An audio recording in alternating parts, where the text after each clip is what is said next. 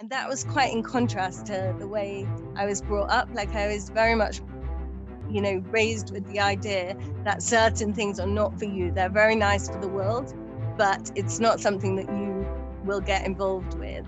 And I guess since I've freed myself from that perspective, it's like I can't say no to anything. I mean,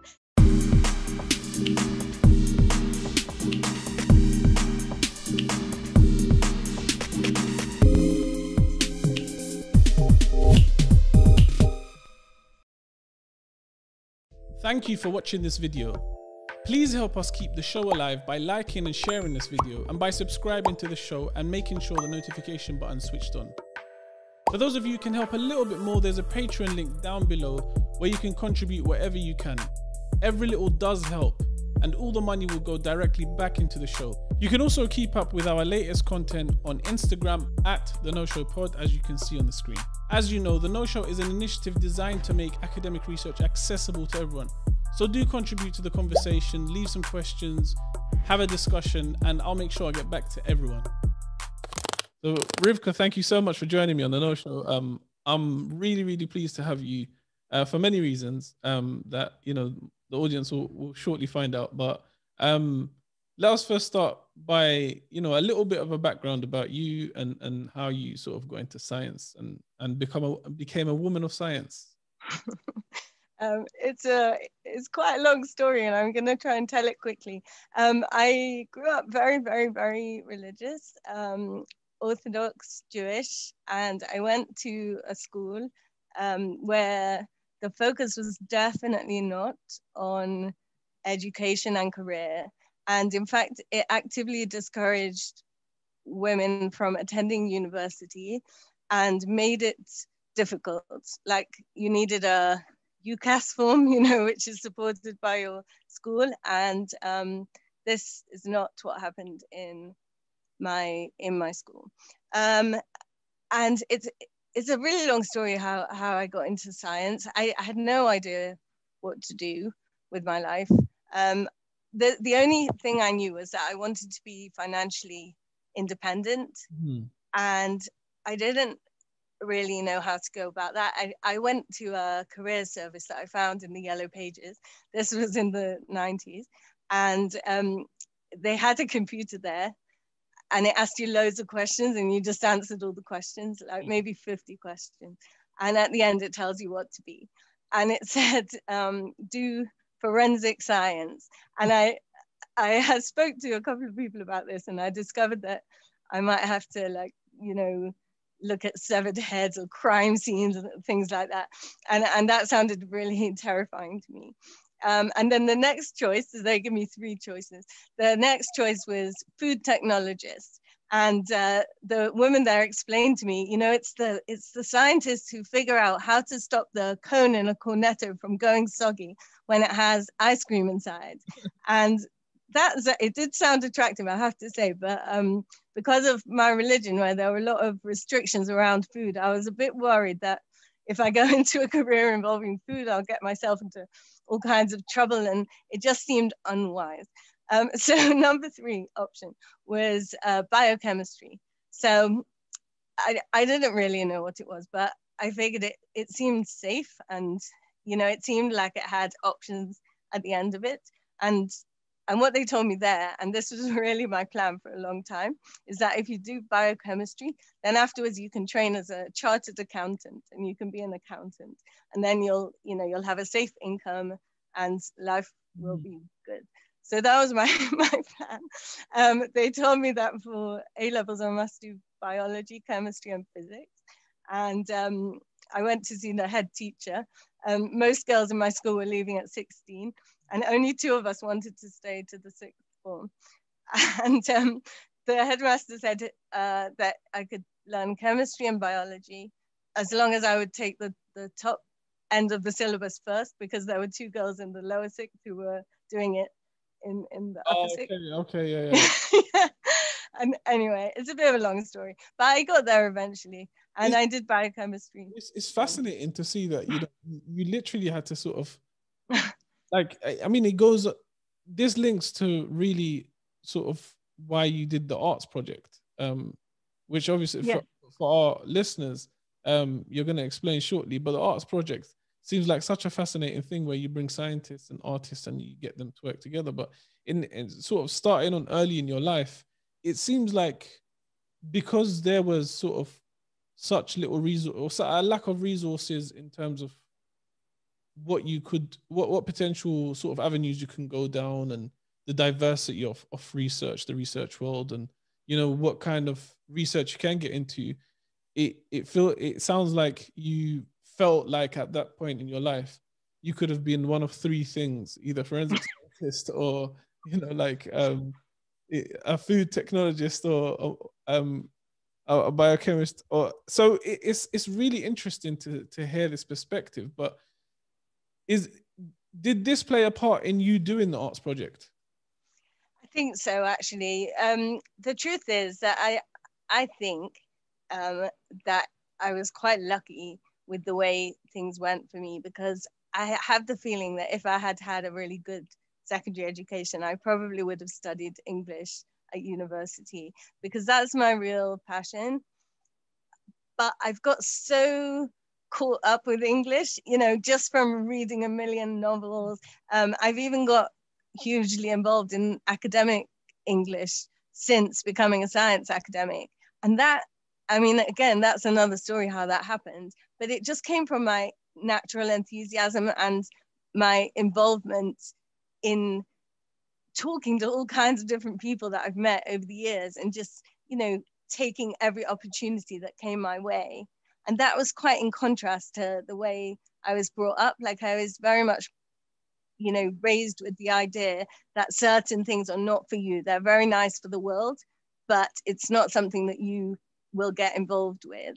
And i guess since i've freed myself from that perspective it's like i can't say no to anything i mean that sounds kind of bad but what i mean is that there are so many opportunities open in the world so so what i think is if i'd done english it would have been very very hard to get as involved as i am in science okay. as a side project. Whereas as a scientist, I have very successfully managed to get involved in the world of poetry, the world of literature, and the world of art. And that makes me so, so happy. Um, but I do not like the idea that you are expected to choose one or the other because I think so much. I mean, even um, so, I told you about a, a scientific paper that we published, which involved a whole variety of techniques, which together gave us an answer that we would not have been able to get by using just one of those techniques. And I think that's true, however extremely interdisciplinary you get. You know, that like you can take a subject that is just so far removed from another subject, but if you get two people from those different fields chatting, you can guarantee that that's going to be a really exciting and stimulating conversation. It may not be that they actually find something they can practically do together, but I think, you know, the more you chat, the more like ideas get opened up and avenues get explored. And to me, like there is no, um, there's virtually nobody that I have a chat with where I don't come away and think, oh, you know, just something a bit different. it's it's amazing. I think that's such an amazing sort of that that um character of inquisitiveness is is something that in from our perspective doing the Know Show and working with young people all the time um we find that they're sort of um they get inquisitiveness almost beat out of them uh, Yeah. and this is what you're what you sort of explained is that you were passionate about English and novels and stories and poetry and that sort of stuff. But you're always going to be passionate about that. But you're the fact that you got into the sciences and you got into a field that you would have otherwise not got into just now allows you to find opportunities for learning and, and sort of um, doing this multidisciplinary approach to, to research that informs your research much more um, than any uh, than any sort of narrow focus. Yeah, I think that's true. And I think it is becoming more and more appreciated actually.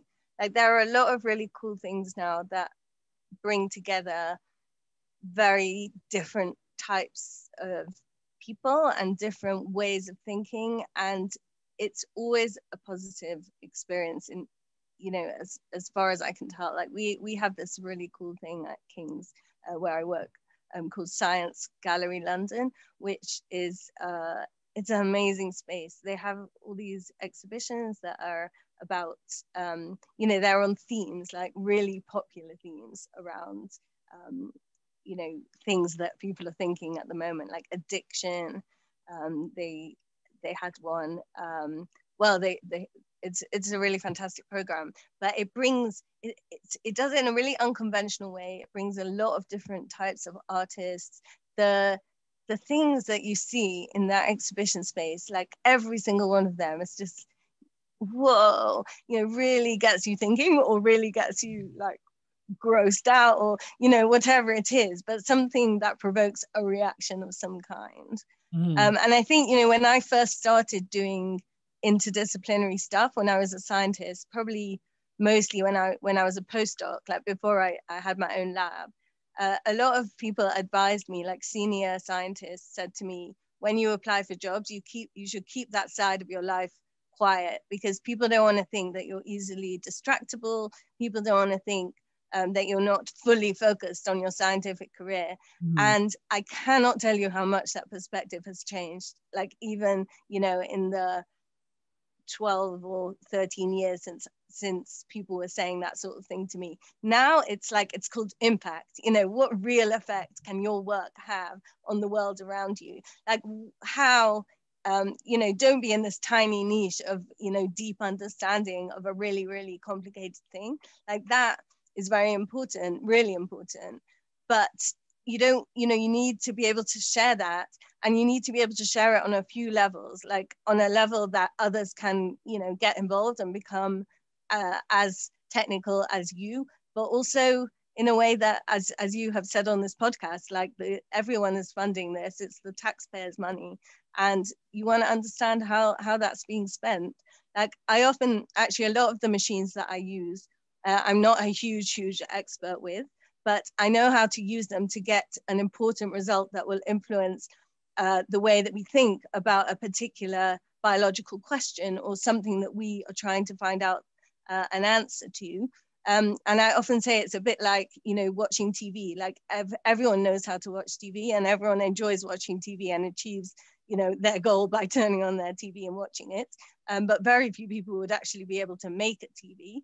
Um, that that doesn't matter because somebody knew how to make a TV. They made great TVs, and we can all watch it now and benefit from it. So it's the same with a lot of really amazing scientific machinery. You know, my research is biophysics, and the idea of that is, you know, machinery and ideas that were first developed within physics now being applied to biological problems. So I can take a particular spectrometer or a particular kind of machine and I can use it in the same way that you would watch TV. Like you need to understand certain things about it, how to turn it on, how to adjust various things. Um, and also, quite importantly, how to interpret your results. Um, but there are lots of ways to, you know, this is becoming more and more egalitarian. Like techniques are becoming a lot less specialized and a lot more available to regular scientists. And so there's a lot of potential um, to you know to use something that in the past would have been too too hard because you had to have a lot of deep technical knowledge whereas now you can use it a lot more accessibly. Mm-hmm. I, I, think you you touch on so many things that um, are really interesting. And one of the things that you've mentioned um, and obviously let, let us sort of explain to the audience a little bit more about the the arts project that you did. So you essentially got um, a bunch of scientists and a bunch of artists, and you put them all together in a room and made the artists paint the scientists. Um, and they, in doing so, they you know had conversations with each other. They explored each other's um, sort of fields. And the important thing that you mentioned um, is that we have this sort of idea that artists and scientists have two completely different lives and different approaches and you have two different images of who they are and there's a level of suspicion so so talk me about that and uh, talk me through that and and and about what you saw happening when you got these two groups of people together yeah. Um, I think part, yeah, part of the motivation for the project to begin with was this idea that, you know, at school we really are sent down the scientific or artistic route. And I think the UK is particularly bad in this respect. And it's so it, it often turns out that, you know, when you get to be I, would say a, a, bit a bit less so for scientists because I often find scientists who are very musical, for example, or who have um, you know an interest in reading or an interest in art. Like it's it's often the case um, that you can be a scientist as your job, but you have lots and lots of artsy interests on the side. But it's quite unusual to find the other thing where you know you're you're educated in arts and your job is something on the humanities side um, but that you have a big kind of hobby or interest to do with science i'd it's not 100% true obviously um, and it's yeah it's to me that's a that's a real shame i think that everybody benefits from being involved um, you know, with people who are not exactly the same as them and talking to them and discussing stuff.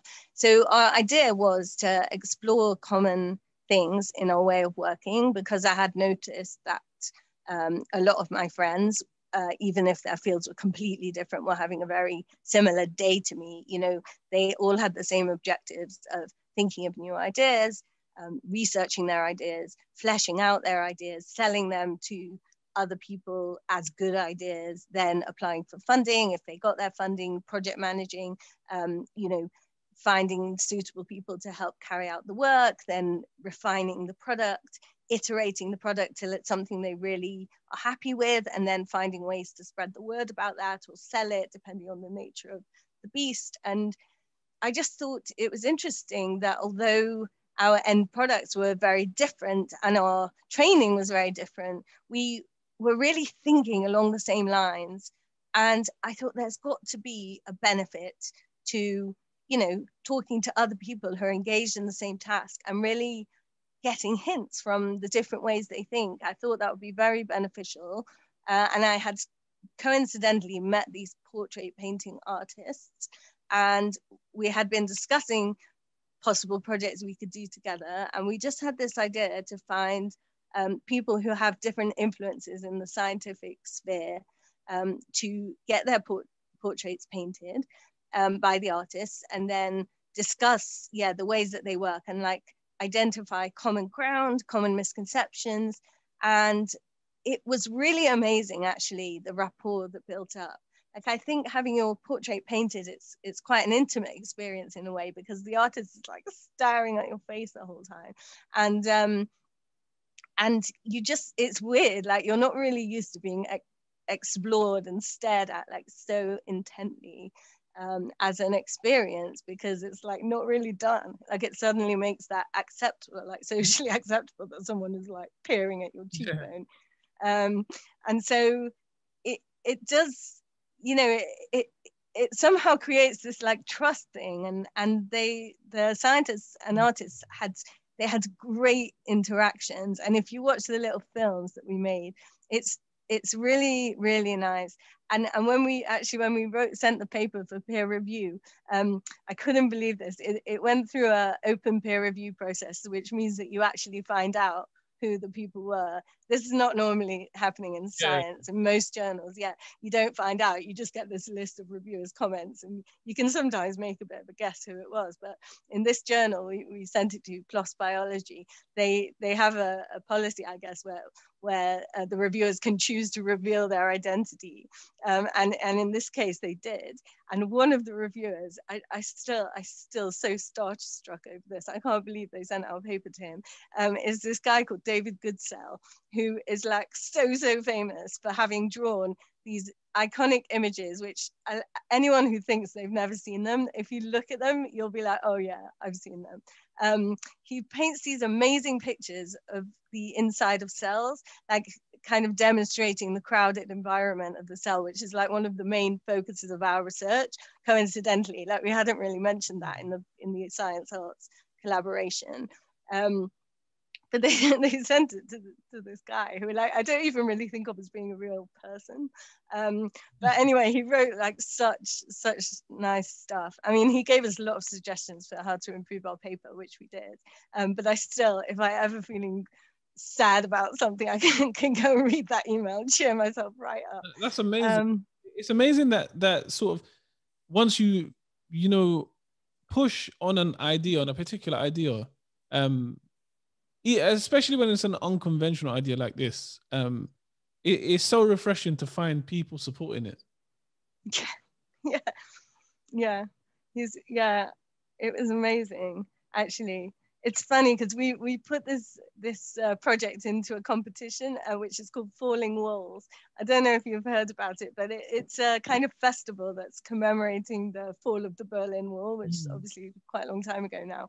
Um, but they have uh, amazing stuff where they think about what is the next wall that needs to fall. It's not mm-hmm. like a real wall, obviously. It's like all metaphorical, but they highlight all these incredible projects that are like breaking down barriers between things that you know are not normally put together and as a result of being in that competition I, I mean we didn't win in the slightest but i met the most interesting people like you think our project is unusual and cool there's i can guarantee you there's like maybe i don't know a thousand projects just as crazy and cool mm. um, going on all over the world. And when you meet these people it's it's so fascinating. You can just I could like spend they had this thing called brain dates where it was kind of like this conversation where you sign up for different slots. I, I guess it's it's like regular dating maybe but you meet people who are doing interesting projects who are interested in your project you can put like a question and if somebody wants to answer that question they can join you on a on a brain date. And I, I did a few of them. It was it was just non-stop fun. Really fantastic connections. I could have done it all day every day but i, I think one of the most fascinating things about about this experience with your art project and generally with your experience in in general as as a person and sort of what you've gone through since you left school um to now being a, a researcher you know breaking down barriers between between different disciplines I think one of the most fascinating things for me is that people are actually so willing to talk to one another, but they just feel like they can't.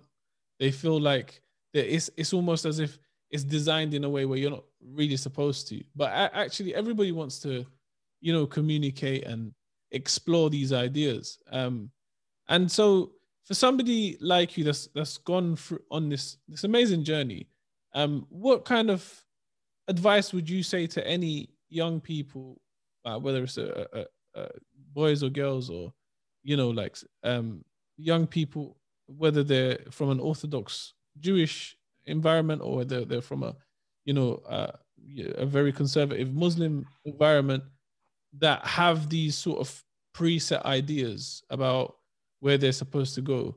What advice would you give them? Oh my gosh, where to start? It's it's such an interesting question, and I knew you were going to ask me something like this, and I was trying to think about it.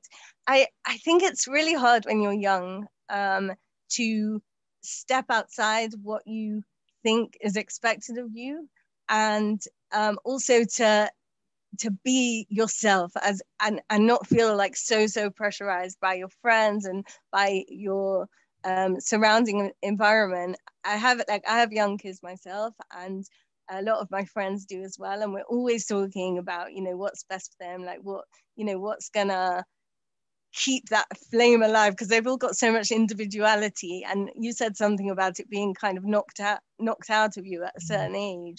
And i think you're right that that happens. Like i remember the first day of university um, you know, way back when in, in the 90s, I, I was so clueless and, and really, you know, I, I, I just felt this, you know, that a certain thing is expected of me. I don't like quite understand what that is. And you can see people sort of pairing off into their friendship groups or, and, and these crowds and, and sort of groups forming and it's it's terrifying and you wonder like where is my place and should i be trying to get with that lot should i be trying to go in this direction i think it, it's very confusing um, being young, and I'm sure everyone has a different experience of, you know, which decade has worked out the best for them. Um, but I found that the more I age, the more like I, I'm just not scared now to be myself. Like I know I'm not that normal and I'm not necessarily the same as like a lot of people, but I think that's an advantage. So I think embracing your individuality and not letting it get like quashed by mm. like some, I don't know, social ex- fire extinguisher that goes around like saying everyone needs to be the same. Like I, you know, I walk in the streets and I see groups of people together. Um, and when they're young, they always look the same, you know, they're wearing the same clothes or um, I, I just, like I wish I could go back to my old self and say like one day you will be much more confident. Mm. Like one day um, you know, I have I have a friend whose kid is like a walking encyclopedia, just loves like memorizing all these crazy facts. And she was saying, you know, I don't want him to go to blah school because I think they'll they will make him feel weird and he'll just like forget about all that and you know he'll just mm-hmm. become a, a clone. Uh, but then if he goes to this, you know, whatever, all the usual worrying that people do when they when they have kids.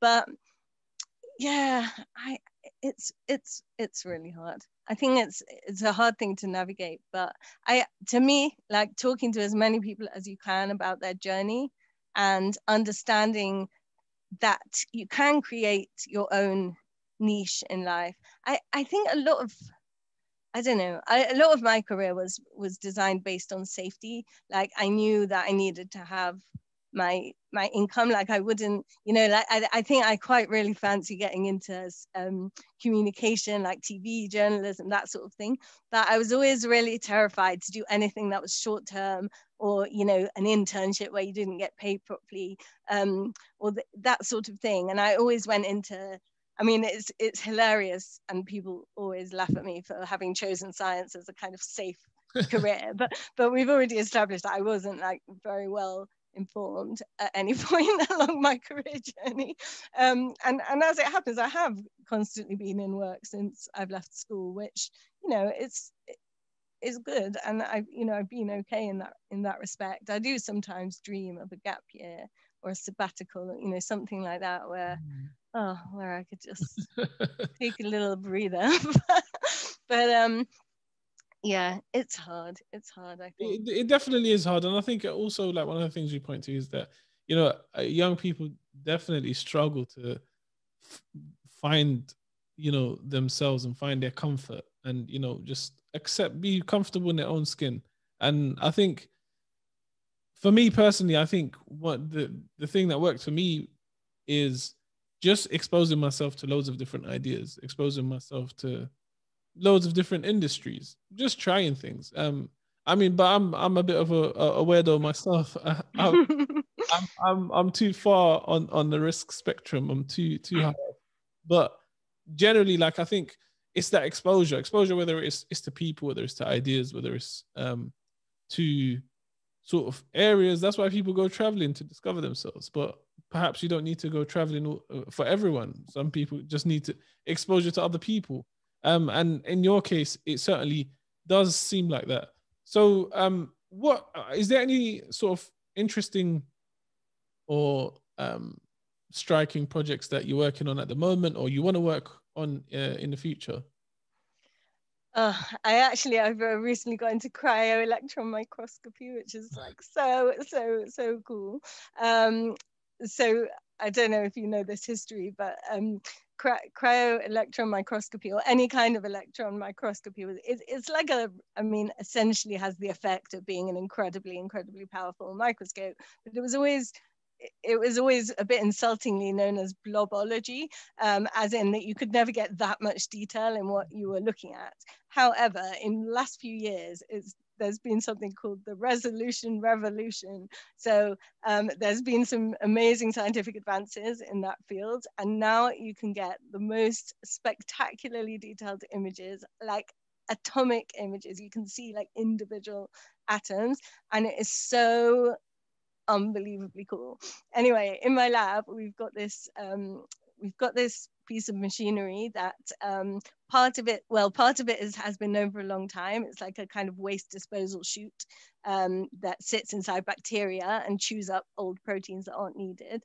Um, but a collaborator of mine in the States, who I, I talk to every week on, on, you know, like this, like I'm talking to you, um, she, her lab discovered this like new sort of adapter that you can stick onto the machine um, that is involved in oh, a, a, process that I, I, probably shouldn't just start talking about now, but um, some kinds of bacteria, when situations become stressful or tough or extreme, like if you're trying to clean them with disinfectant mm-hmm. or if they get into like an extreme situation, they have the ability to shut down and become spores, which are these very, very hardy, long-lived um, forms of bacteria that can like last for gazillions of years and keep their genetic material and come back to life when the situation becomes favorable again.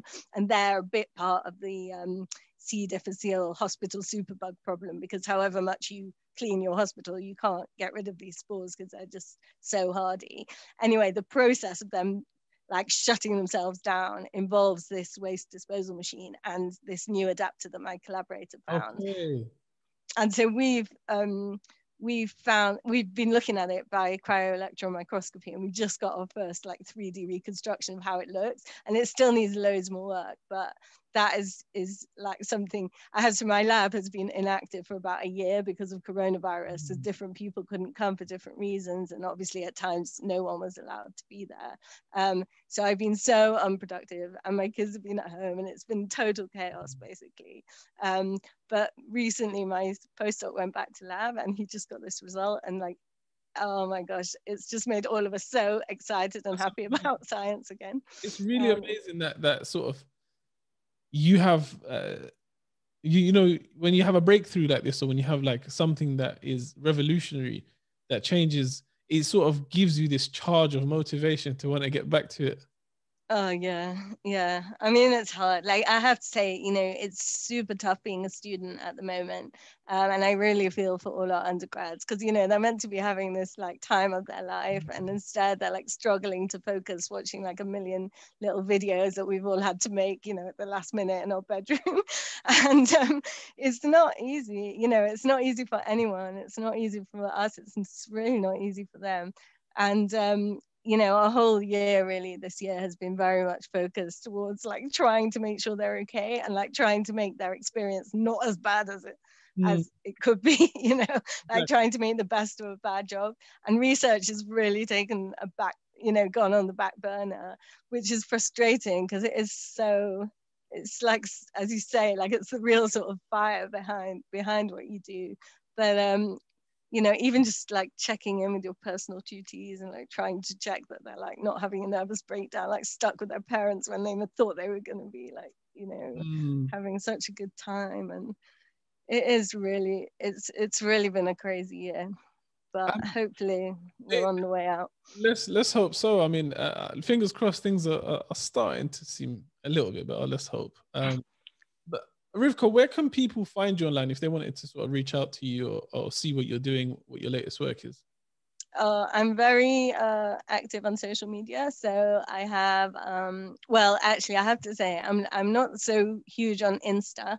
Um, I'm getting there, but it's like not so natural to me. But Twitter, I do a lot of tweeting, and I really don't separate business and pleasure on Twitter. I just tweet about everything. Kind of like um, yeah, most of the most of the tweets are like crazy stuff that my six year old kid says. Um, but also a lot of science in there as well. um, and uh, um, it's at RLI22. RLI22. Yeah. and um, yeah, that's probably the main thing. And if, if I'm doing anything else, like, you know, if we publish a paper or if I'm speaking somewhere or something like that, I will always, you know, mention it on Twitter. So probably Twitter is the best. Um, also, our, our, university has web pages with our addresses. Yeah, yeah. So if anyone wants to just send an email, oh, I'll, I'll, link I'll link the profile and the and the handle so people can you know reach out to you if if they want to cool. follow you if they want to um sort of collaborate with you. Uh, Rivka, it's been an absolute pleasure. You're a bundle really of joy, and, and, it's been it's been it's been a, a pleasure. Cool. Thank you for watching this video. Please help us keep the show alive by liking and sharing this video and by subscribing to the show and making sure the notification button switched on. For those of you who can help a little bit more, there's a Patreon link down below where you can contribute whatever you can. Every little does help and all the money will go directly back into the show. You can also keep up with our latest content on Instagram at The Know Show Pod, as you can see on the screen. As you know, The Know Show is an initiative designed to make academic research accessible to everyone. So do contribute to the conversation, leave some questions, have a discussion, and I'll make sure I get back to everyone.